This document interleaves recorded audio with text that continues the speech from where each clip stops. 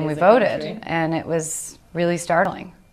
Um, you know, you're watching these hurricanes now, and it's really it's hard, especially while promoting this movie, not to not to feel Mother Nature's rage, wrath. That's right. Mother Nature is sending the hurricanes because she's angry at America for voting for Trump. It's just really confusing. Yeah, you can say that again. It's just really confusing. Who else is blaming supernatural forces for sending hurricanes to punish the evildoers? Oh, look, it's crazy evangelical right wing Christians. Difference is they'll be scorned and ridiculed by the left, with good reason, by the way, whereas Lawrence will be given a free pass. Whenever right wingers blame natural disasters on gays, the Huffington Post freaks out. What did the Huffington Post have to say about Jennifer Lawrence's bizarre comments? Jennifer Lawrence is sheer perfection in this silver gown.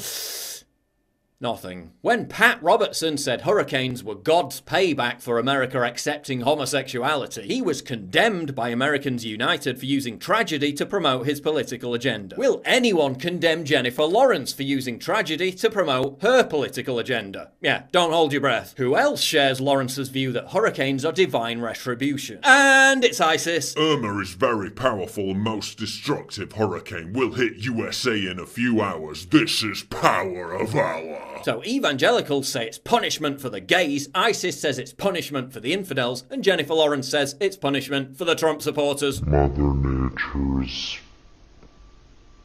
rage, wrath.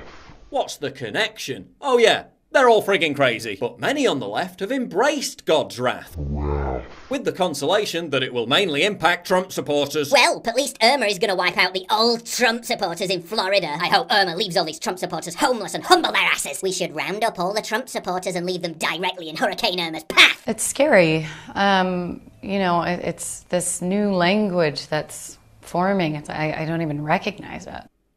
What new language? It's um, You talking about the new language where all you hysterical anti-Trump lunatics are almost literally saying the same thing as ISIS? Yeah, that new language.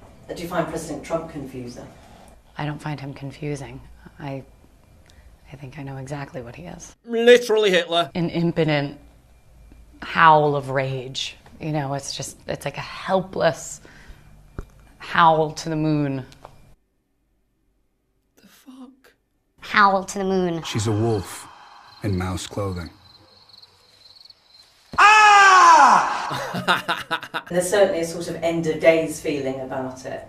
There are many people in America who would say, you know, perhaps it's truer there at the moment than anywhere else. End of days? Who's this idiot? Did I see her the other day in the street holding a placard? Oh no, she's a news reporter for Channel 4. Oh yeah, and one final thing, Jennifer. All those Muslim refugees you love so much. Yeah, not taken any in, have you? I mean, come on, at least Clooney's put his mansions where his mouth is. Guess there's just no room at your $8 million gated palace. There's a lot of excitement about the idea you might do something with Amy Schumer. Yeah. Um, why do you think people are so excited about that? Do you think there's still this idea that actually women can't be funny? Women can't be funny? Oh, women can be funny. And Jennifer Lawrence is a shining example of that. Mother Nature's rage. It's just really confusing.